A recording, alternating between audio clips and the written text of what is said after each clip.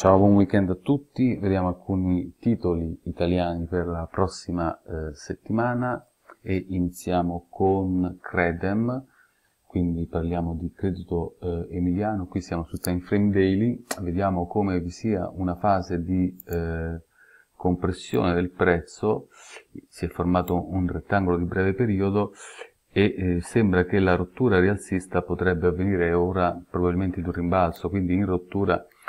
sopra i 4,51 ci sta eh, secondo me la possibilità di andare quantomeno a chiudere questo gap sopra, quindi in area eh, 4,68. Vediamo come sia in divergenza rialzista rispetto alla base del rettangolo momentum e vediamo infine come vi sia stata una volumi sull'ultima candela che è una pin bar, quindi qui i compratori sono entrati sicuramente eh, in opera in corso di sessione eh, spingendo in alto verso i massimi della giornata del prezzo e quindi potremmo assistere sopra i 4,51 non a lungo almeno fino ai 4,69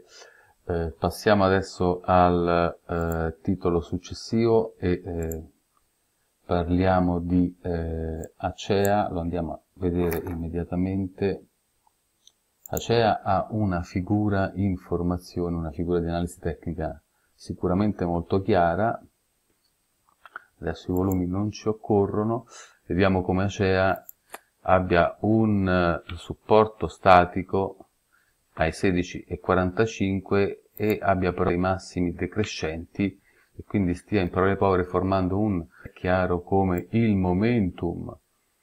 sia eh, estremamente, estremamente in una situazione delicata, avendo anche rotto la linea dello zero e quindi secondo me sotto i 16 e, e 40 è possibile eh, valutare eh, lo short eh, su Acea. Passiamo adesso a un altro titolo italiano del listino principale, in questo caso, e parlo di eh, Poste, Poste Italiane è sempre in un trend primario rialzista, vediamo come eh, il momentum verso eh, e quindi eh, secondo me è possibile provare ad aspettare questo livello degli 8,40, 8,45 che è stato prima resistenza e poi supporto, quindi stiamo vivendo un affaccio più che fisiologico, esiste, ma in area 8,40 secondo me sarà possibile valutare eh, un long a favore del trend primario. Siamo a un titolo più sottile, parliamo di RCS che è estremamente interessante, testato quello che è un supporto statico, candela con una pin bar molto eh, lunga come, come spike e vediamo come anche in questo caso vi sia già il momentum in divergenza rispetto ai minimi che formava il prezzo. Eh, quindi secondo me sopra i massimi di questa pin bar si confermerà eh, l'inizio del, del, rimbalzo, per cui secondo me sopra 0,9150 è ipotizzabile sicuramente un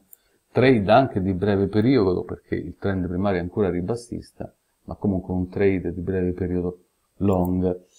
Altro eh, titolo di trading range, un rettangolo tra 1,65 e 1,77, ma vediamo come vi fosse in questo caso chiarissima la divergenza rialzista col momentum tra lo 0 e quindi ci conferma che probabilmente la rottura di 1,77 potrebbe dare là a un rimbalzo anche interessante e quindi lo mettiamo in watch list sopra 1,77 eh, da valutare il long su uh, Salini, altro titolo italiano di media capitalizzazione, Saras. Saras è molto interessante perché, perché abbiamo, uh, spesso si parla di hammer o pin bar e tante volte sono hammer o pin bar poi effettivamente sporchi, non precisi come ad esempio questo o come ad esempio questo in questo caso la pin bar di Saras è effettivamente pulitissima, non ha spike sopra, ben proporzionata, il body è molto piccolo rispetto alla spike e anche qui si riassista sul momentum e se vogliamo passare al time frame settimanale eh, una cosa che sicuramente è interessante da verificare è come eh, si sia su un, opportuno vedere anche i time frame superiori per vedere, eh, per cercare conferme, quindi abbiamo un supporto sul time frame settimanale e comegia di candela abbiamo una pin bar rialzista sul daily, quindi ci sta in rottura dei massimi sopra 1,2950 di andare a valutare il long. Passiamo a Mediobanca. Eh, Mediobanca, eh, titolo sì bancario ma comunque non la classica banca, quindi un titolo eh, bancario eh, più solido e leggermente mh, mm, mm, con un beta, quindi con un rapporto di volatilità rispetto all'indice più basso rispetto a titoli come Unicredit Intesa, eh, profondo il pullback dai massimi ai 9,70 e sarebbe interessante vederlo eh, agli 8 euro dove abbiamo questo livello che è stata una resistenza eh, fortissima per il trend al rialzo in un uptrend importante e abbiamo questo eh, spinning top come ultima candela di venerdì, un piccolissimo gap, senza fretta il trend al momento di medio periodo ribassista, un test in area 8 che ha anche una soglia psicologica essendo una cifra ci consentirebbe di valutare seriamente un ingresso, un ingresso long. Ultimo titolo per questo video, il titolo